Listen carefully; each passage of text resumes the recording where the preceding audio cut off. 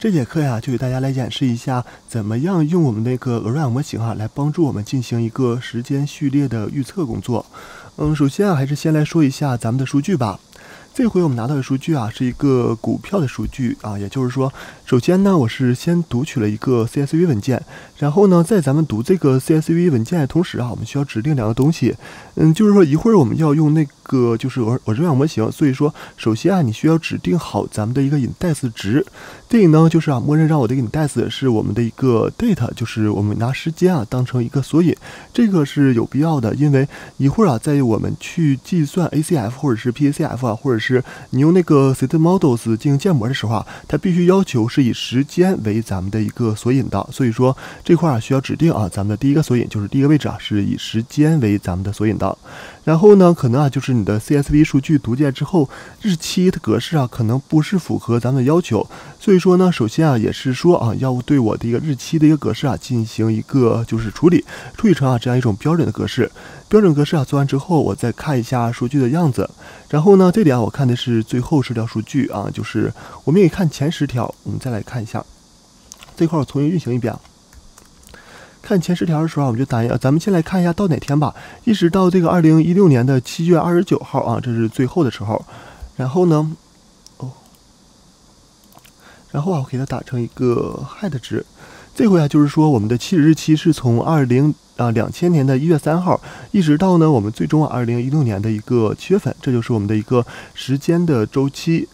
然后啊，第一步就是我现在把数据拿来之后啊，咱们通常都是可以对数据做一个重采样吧。比如说啊，现在我需要找的是数据当中的某一列，嗯，一个整体的数据啊，你去进行分析很难。所以说，首先啊，就是你先得找出来，你按照哪个序列去分析。这里啊，就是关于股票数据有开盘价、最高价、最低价，然后这样一个闭盘价。呃，我们选择的是这个 close，就是要预测一下每一天的一个最终啊，它的一个收盘价是等于多少的。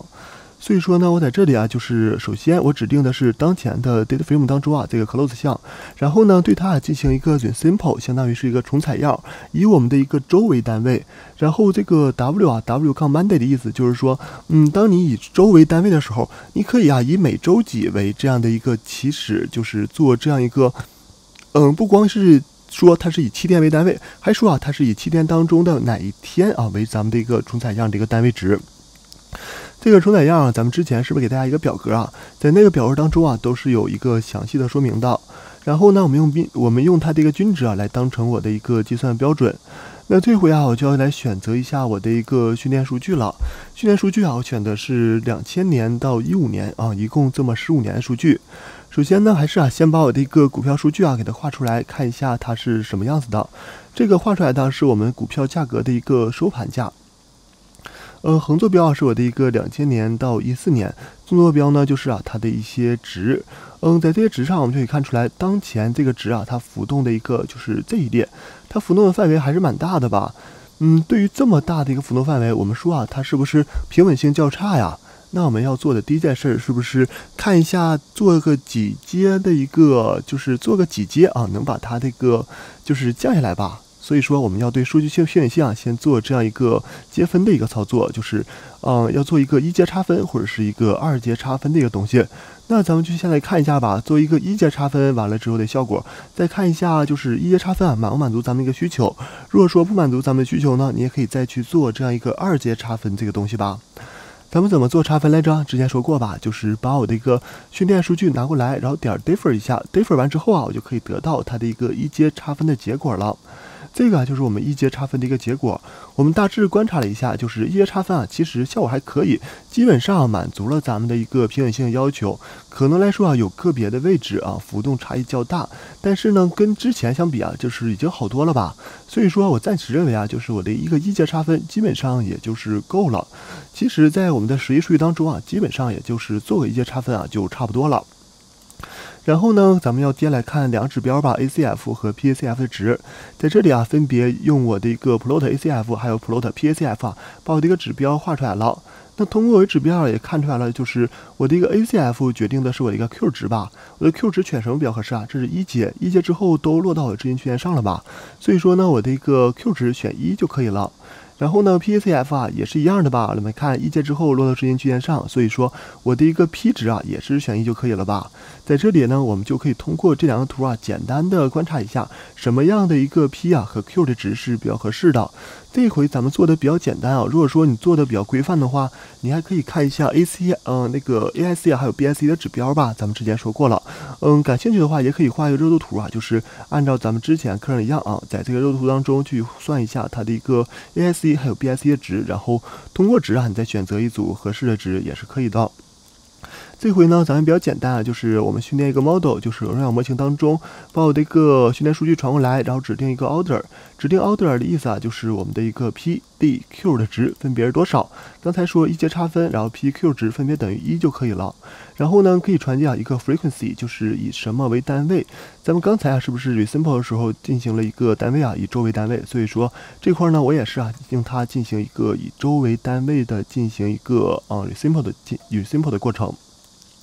然后啊，接下来我就可以 fit 一下模型了吧，相当于是训练一下我当前的一个模型。如果说大家啊想对我的一个荣耀模型进行更深层次了解，我们也可以关注它的一个东西啊，叫做 summary。summary 当中啊会帮我们统计出来它的很多指标，有一些指标啊咱们课上还没涉及到啊，感兴趣的话也可以去看一下它其他的一些指标啊，都是关于它那个模型评估还有测量方面的一些东西的。这段之后啊，我想进行一个 predict，这就是我进行一个预测吧。我们看啊，就是说整体流程啊都是比较简单的啊，跟我们用 sklearn 是差不多的。先进行一个模型的训练，然后呢再进行一个模型的预测。嗯，在进行模型预测的时候啊，需要指定一个你起始的时间和终止的时间。这两个时间的意思啊，就是说，嗯，它有一个说法，就是你的一个起始时间啊，必须它的一个 key 值，相当于是一个 index 值，必须是在你原始的一个数据当中的。比如说你的一个训练数据当中啊，必须要包含我的一个起始时间，它是就是说你的一个预测值必须是一个从已知的时间开始，你要传进去一个未知时间啊，它会给你报错，就是说，嗯，这个隐代的值是没在我的区间上，所以说，嗯，你的一个起始时间啊，必须是在咱们的一个训练数据当中的，终止时间啊是没有限制的，终止时间什么都可以的，然后我们就可以进行这样一个预测了。预测完之后啊，我可以打印出来这样的一个结果值。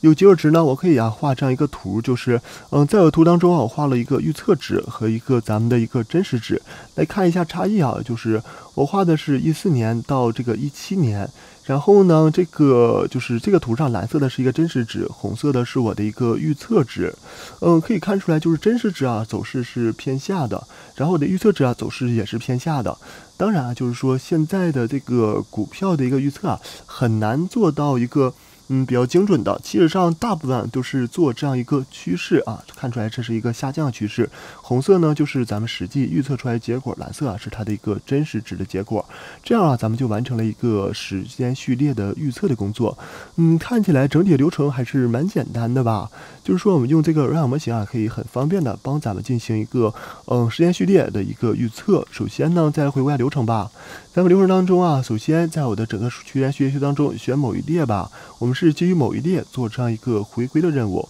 然后呢做差分，做 ACF、PACF 啊，确定好我的一个参数，确定好参数之后啊，咱们指定好这个模型，然后实际的点 fit 一下，点 predict 一下，就可以完成啊咱们这样一个时间序列的预测的工作了。嗯，然后再说两点嘛，就是这个股票数据啊。